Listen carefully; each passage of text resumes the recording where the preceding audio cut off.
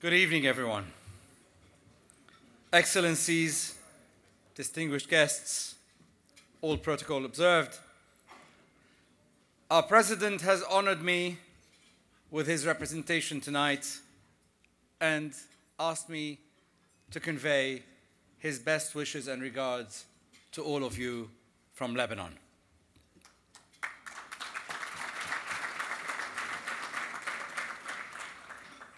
It gives me a great pleasure to be among you, among such a distinguished group of achievers who share a common cause. That is Lebanon, of course. The American Task Force for Lebanon continues to be one of the institutions that have placed the security, stability, freedom, and sovereignty of Lebanon at the heart of its mission, successfully promoting activities to serve that noble cause and purpose and celebrate actions which exemplify that spirit. You have succeeded at uniting together pioneers entrepreneurs, public figures, academic, and business professionals who share a passion for Lebanon and rallied support for the country of your parents and forefathers. Your energy, action, and care are a source of pride and comfort to all of us back home. Lebanon today needs you more than ever before. At this critical time, as we strive to execute one of the most ambitious reform programs while facing global, regional, and some local challenges. Regional conflicts have left Lebanon with the highest refugee to population ratio in the world, placing a ma major burden on infrastructure and services.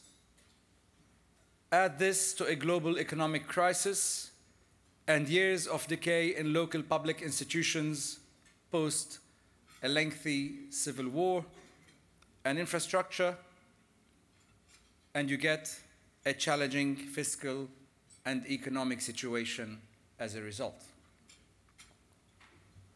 As you know, the Lebanese are resilient people and can adapt to any situation.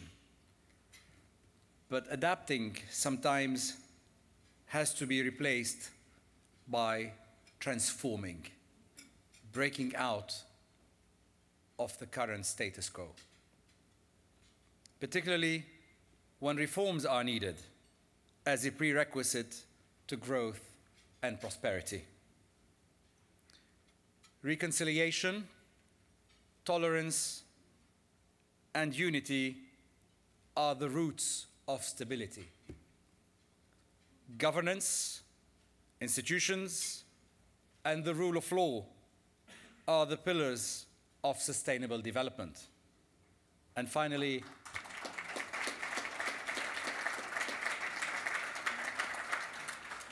And finally, investments, fiscal discipline, and international community support are the cradle for growth and prosperity. We count on you all.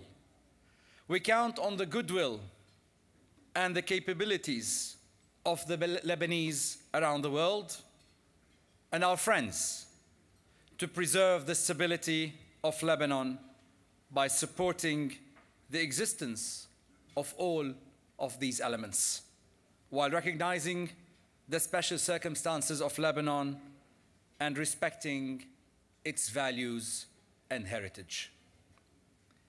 Ladies and gentlemen, distinguished guests, as the world embarks on the fourth industrial revolution, Lebanon needs to be prepared to leapfrog many stages of development and rise to the challenge, then turn the challenge into an opportunity. We need to be ready to embrace change in technology and sciences and prepare our young generation for the upcoming global competition. We have always been pioneers and discoverers and differentiated ourselves across the world, creating value and prosperity wherever we go. It is time we brought that success, you brought that, that success back home to write the future story of Lebanon.